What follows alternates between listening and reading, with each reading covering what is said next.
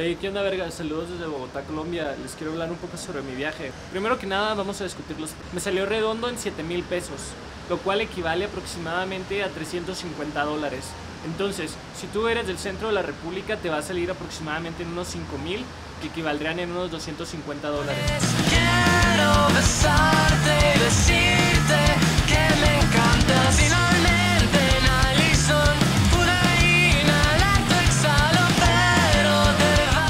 Va. Después, el Airbnb, que en lo general pues es una opción siempre segura y barata, muchísimo más que los hoteles. Aquí en Bogotá agarré el hospedaje por 5.200 pesos, lo cual fue por los 7 días. Y aquí hay gimnasio, hay alberca, eh, hay cocina, o sea, como un café, eh, sala de billar también, entonces es una muy buena opción.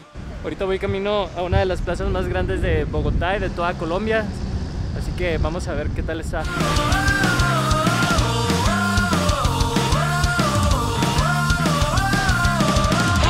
Ahorita acabo de llegar a la Plaza Titán, es la plaza más grande de Bogotá y vamos a ver qué nos encontramos.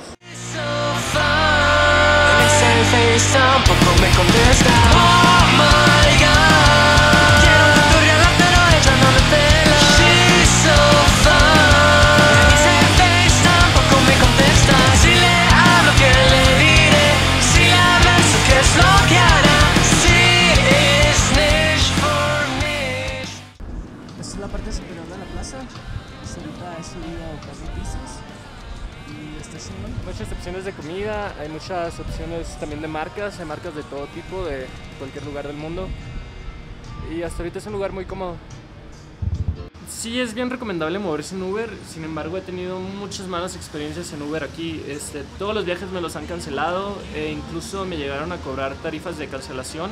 O sea, me cobraron y no me dieron el servicio. Estoy 100% seguro que jamás en mi puta vida voy a volver a usar Uber, la neta los odio. He estado usando taxis tradicionales.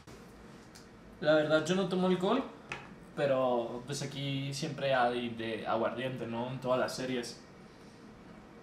Huele culerísimo, entonces... A ver cómo sabe. Ah, no mames. Ah, está culerísimo. Ok, ya probé aguardiente, no lo quiero volver a hacer nunca en mi vida. no lo compren. El centro histórico de Colombia es muy bueno, les voy a enseñar un poco sobre los museos, es para que te suscribas y te mantengas pendiente. Hasta la próxima.